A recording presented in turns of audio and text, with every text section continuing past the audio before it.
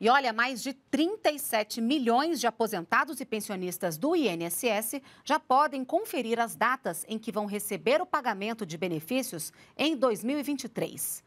Para quem recebe um salário mínimo, os depósitos referentes a janeiro serão feitos entre os dias 25 de janeiro e 7 de fevereiro.